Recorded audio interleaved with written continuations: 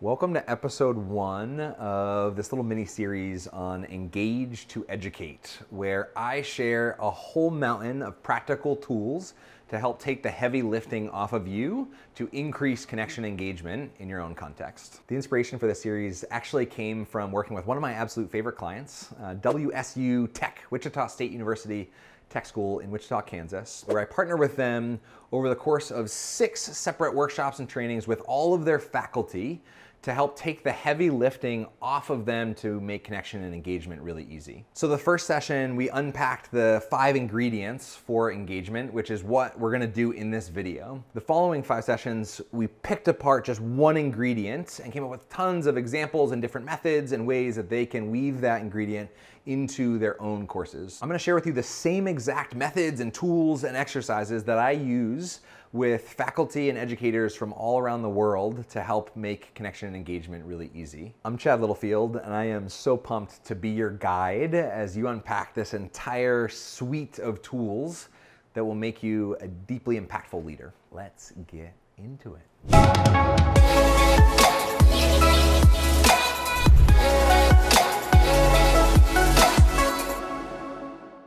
A little series roadmap. So we're in episode one right now. I'm gonna overview the first session that I did with faculty. And I'm gonna share how I actually introduced experientially, over the course of 90 minutes, experientially introduce the five ingredients for engagement. It does not matter whether you are in a totally remote environment, if you're an in-person environment, or if you're in this weird hybrid blended adaptation. In fact, from this moment forward, I would love for you to ruthlessly steal and reinterpret every single thing that I say and do and apply to your own context. So I'm gonna share the exact ways and actually go through my workshop flow. So I'm gonna be looking at what I actually did with faculty and saying, I did this and I did this and then we did this. So you actually get a preview of my outlines for how these workshops actually ran, but they're my outlines by the end of this series, I would love for you to have your outlines. I'd love for you to have your the things that you want to take away and steal and adapt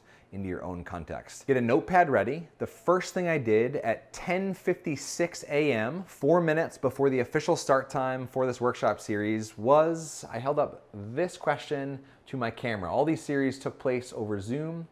And I asked the group right away, as soon as they logged on, they didn't know what to expect. We hadn't met at all. And I said, before I share anything that I know with you, what is something that you know really well? And the chat got filled with all sorts of stuff. Now, this is a technical college, so these are people who are building airplane engines and they're teaching people to be nurses. And so, all sorts of stuff is flowing through the chat about uh, what they know related to work, but also related to hobbies. Really lovely to see what people are really good at. It's also a really a solid foundation to start off. So, thinking about how do you command respect from students? Don't start by talking about how awesome and cool you are. Ask them what they know really well. Focus on them. Once there were about 80 to 90 responses in the chat, I invited them to go back to the chat and scroll through and find a faculty member that they know they recognize their name, they've worked with them in the past, but find a faculty member who shared something that they didn't know. So before the official start of the workshops, now we're at about 10:59 a.m. and all faculty have learned something about one of their peers that they hadn't already known before. Second thing I did, now we're at the official start time. It's 11 a.m. and I hold up my calculator on my phone to the group and I say, okay, I would love to uh, do a little collaborative calculator exercise. Using your number pad, in the chat, can you type the number of years of experience that you have teaching whatever it is or doing whatever it is you do? Because a lot of um, instructors at WSU Tech may have been in industry welding steel for 30 years, semi-retired and decided they wanted to teach. And so you've got people with this brilliant library of life experience that they're now passing on to students. So all these numbers start going through the chat.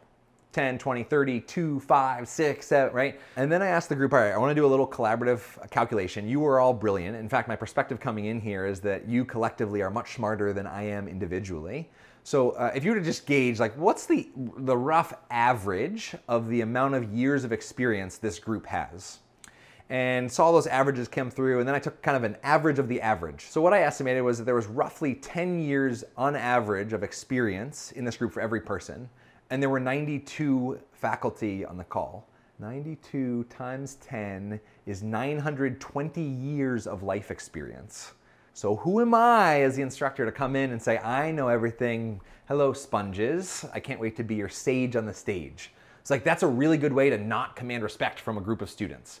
And so I really acknowledge that really clearly that you have 920 years of experience. And so what I did with you early earlier where I rang the bell, I said that exact phrase. From this moment forward, I invite you to ruthlessly steal and reinterpret anything that I say and do and apply it to your own context. You can imagine that faculty who have been doing this for 30 years and we're like, all right, another faculty development. And on top of this, it's happening on a Friday. Like, okay, if it's mandatory, I guess I have to attend.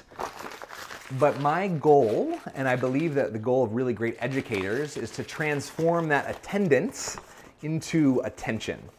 And so I think at this point, in fact, I know at this point because I can see a bunch of faces on Zoom that were like, oh gosh, Friday, what are these sessions gonna be like? Oh my gosh, I have six more of these. And then all of a sudden their faces turned into like leaning in and ready in the chat. They were ready and primed to engage, and it was only 11.02 a.m. Everything I just described to you, I would put under the category of unofficial start. It's ingredient number one. It's what episode two of this mini series will dive deeply into. It's the idea of rewarding people for showing up early by starting with immediate and purposeful engagement rather than rewarding people for being late by waiting for them. So start a few minutes before and run that unofficial start a few minutes after. In episode two, we'll unpack a ton of concrete examples of what that unofficial start looks like. The second ingredient that I share is this idea of a context hook. So even though they all clicked the same Zoom link, we were not in the same context. It was a different temperature where they were, literally different weather in Wichita than it was in Pittsburgh. Totally different context. They also had a different morning than I had. They're in a different state of mind. And so you've got to do and or say something to bring everybody into the same context. The easiest way to frame a context hook is to get really, really crystal clear about your intention for their time and attention and state that really clearly to them. And so I had a few. And so my intention was, and I share this at the beginning of every single session that I had with them, and I repeated it because I think the context hook is really important. And you've heard me say it twice in this video already. My intention is to take the heavy lifting off of you to create a really connected and engaged learning environment to increase your impact and student outcomes. And, and this, this piece is very important, and I want to do that in a way that leaves you with absolutely nothing to do once you leave this meeting. In fact, I had a mentor once, and I told the group that I had a mentor once that invited me or challenged me to never leave a meeting with something to do, which is pretty hard. Most people, like most meetings, create heaps of work. Um, but it's a really cool challenge to take on. And I'll tell you what, that looped people in the context. They were like, ooh, this always, like, we're not getting homework? Right? We're gonna do, we're, we don't have to leave, we, all we have to do is attend and be present. There's an attraction to that because I had 92 faculty who had too much to do in too little time. Second context hook. I held up this number and I said, this, my friends, is the number of PowerPoint slides that I'll be using across all of our workshops. And in that moment, in Zoom gallery view, I saw a bunch of this. What? How are you gonna teach us? Where's the content gonna come from? Instead of PowerPoint slides, I'd love to invite you to wear two hats. And the first hat, and I showed them this picture. The first hat, I'm inviting you to put on my son Otto's hat. So Otto has an ability. In fact, this picture was taken three seconds after I held up this to Otto. I asked them to unmute and guess, what is this? It's like a potato? Yes, a very particular type of potato. This is a plastic potato. I held this up to Otto, and this was his face. If I held up this plastic potato with no context, if we started the session, my unofficial start was hold up plastic potato. At best, I'm gonna get some very confused looks, but most likely there's gonna be a surge of disappointment. And yet there's something in Otto's brain that's active that made him light up. And so inviting you to uh, wear his hat and just be voraciously curious. Otto has the gift of loving learning about anything, whether it's a plastic potato or a first time in a swimming pool or learning about calculus or review of algebra or how to build a plane engine and then rattled off a handful of examples of their courses and lessons. The second hat that I invited folks to wear was using the Zoom filter, this digital pirate hat. And I asked the group to come off mute. This was a little bit of a risk in uh, a group of wild uh, faculty. I asked them to unmute and uh, just start calling out, yelling out skills that pirates had. Zoom audio compression has gotten really good, and so you can have 90 people popcorning things out, and it doesn't sound too bad actually. And so I'm inviting them to popcorn out sword fighting, drinking. They uh, you know, shared a bunch of skills that their bunch of faculty were very happy to laugh at. And of course, somebody said stealing and pillaging, and I said, awesome. I don't care if you're good at sword fighting. If you are, great. But what I would love for you to do is put on a pirate hat and from this moment forward be really good at stealing ruthlessly everything that I say and do and apply it to your own context. So that's the, the place where I invited them to ruthlessly steal and reinterpret and apply into their own context. So with those two hats and that context hook, we were ready to get into some connection before content, which is the third ingredient for engagement. Peter Block, who kind of coined this phrase, connection before content, uh, once said, without relatedness, no work can occur. I've experienced that to be uh, quite true. And yet, really good connection before content also connects to the purpose of why you're there. And so I held up a question that was actually a fill in the blank question. It, was, it just said, What is one of the best examples of blank? And I said, High engagement in your class. So I wanted to get people into conversations and acknowledge that, uh, uh yeah, I'm coming in to help make engagement really easy for you and to take the heavy lifting off. But you've been doing this for 10 plus years. And so you've probably figured out some strategies. So jump into groups, meet each other, find out uh, your context, and share one of the best examples so that you come back from breakouts a little bit smarter, a little bit wiser with three to five other ahas or nuances or tips or tactics to create really high engagement from your peers not just from Mr. Sage on the stage. Then when we came back from breakouts, I believe that uh, you've got to always do something to take all those individual clicks and form them into one community. So I use the popcorn method to invite the group to just popcorn out responses to the question, what struck you about those conversations or what did you notice about those conversations? And so you have the group sharing things like, ooh, it was really uh, insightful. Like I heard something that I hadn't thought about before, or to be honest, I felt reaffirmed or, or not related to the content. It was actually just, it was really nice to talk with faculty, right? I'm always with my aviation people, or I'm always with my nursing people, or I'm always with my gen ed people. And so it's really nice to just actually take a pause from that and connect with other people who think a little bit differently than I do. And this is really important. After they had the experience of connection before content, I then shared the data uh, that Google found from their giant research study uh, that they called Project Aristotle, where they went on a quest to find the characteristics of the highest performing teams at Google. And they found that the number one characteristic of high performing teams at Google was the degree of psychological safety in that group. It wasn't the perfect Myers Briggs, it wasn't the uh, most technically experienced team, it wasn't even the years of experience. It was the degree of psychological safety, which is PhD academic Harvard uh, language for can I be myself at work? Can I share ideas and trust that even if someone disagrees, that we'll uplift and work on them and have task conflict, but not relationship. Um, gossip. And that's really important uh, for me to share that data after they've had an experience because the people that are thinking uh, really rationally, logically, they're data minded, they're like, okay, yeah, yeah, yeah, yeah, connection before content. Give me the research, right? Give me the pedagogy behind this. Um, sharing bits and little statistic stats throughout are really useful and important to recapture and reset the attention of somebody who tends to be a little bit more left-brained. The unofficial start, all the experiences that we had just done, the conversations, uh, totally activated people who tend to relate to stories, and experiences, and emotions and feelings. So we wanted to get some data in there. Fourth ingredient for engagement is actually content.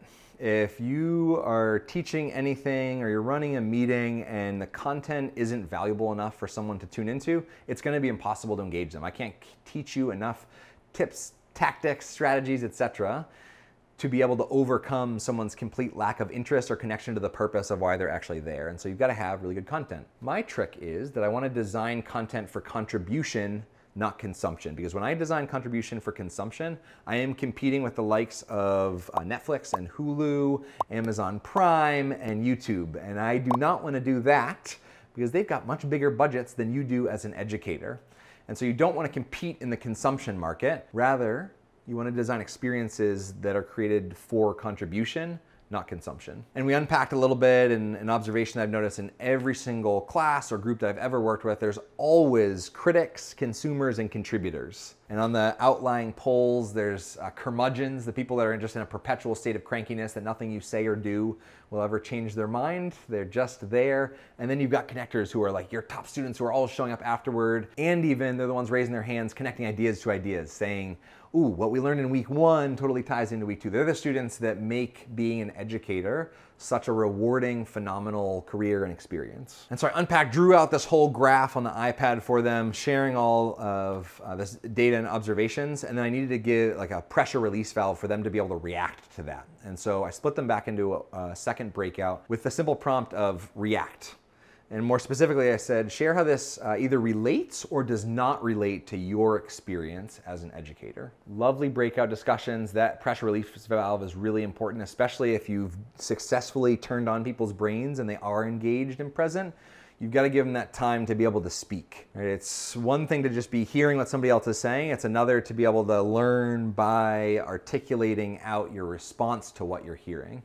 And so when we came back, I wanted to create space for introverts to be able to do that too. So I led a collaborative journaling exercise where I invited the group to actually teach what they've learned so far in our time together in the chat. So through writing. So I played a song that was about two minutes for them to journal on and write down um, something that they've learned, a, a takeaway that they've had from those conversations or from the time that we've spent already.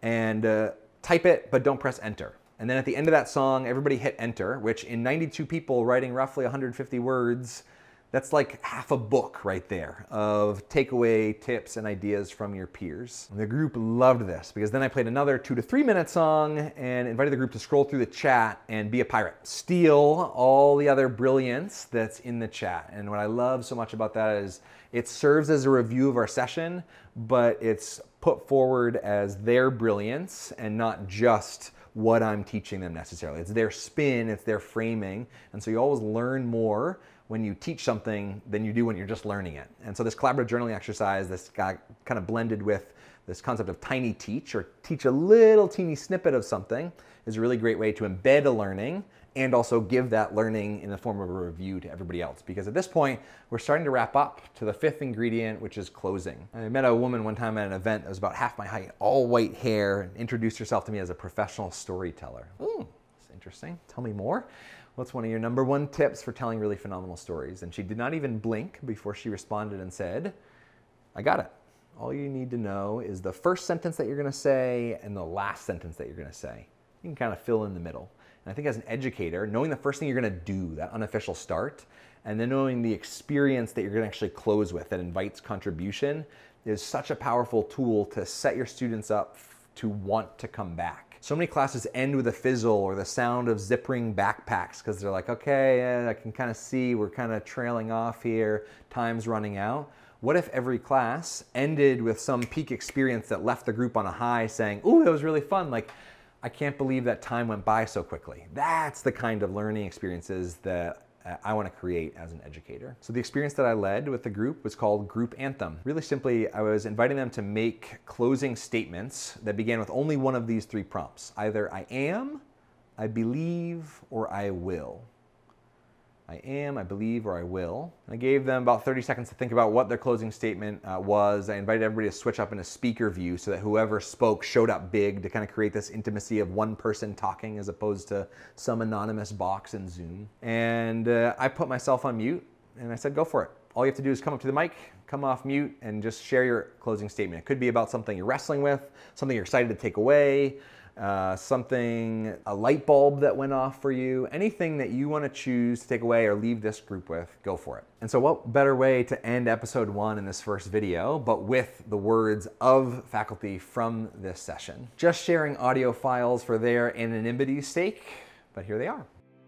I'll start. I'm glad to hear that I'm not the only one dealing with curmudgeons. I believe in the power of the culture of connection. I will work hard to be a better educator. I believe in what I'm doing, and I'm not going to let any curmudgeon stop from the rest of the class getting what they need. I believe in my students. I believe the Littlefield attitude could be contagious. I am excited to get through the rest of the five and learn more. Wow. You see the energy of hearing all of those statements, all those different voices, as opposed to me saying, see you next week, class. See you on Tuesday. Wait, wait, wait, wait, don't forget about the tab. Ending with logistics. Never end with logistics. Always make logistics the, at least the second to last thing that you do. End with some deliberate closing. And in episode six of this mini series, I'll give you a bunch of examples of different closing exercises that you can end on a really wonderful high note. This was really fun. I can't wait for more. See you in episode two, where we're gonna do a deep dive into unofficial starts.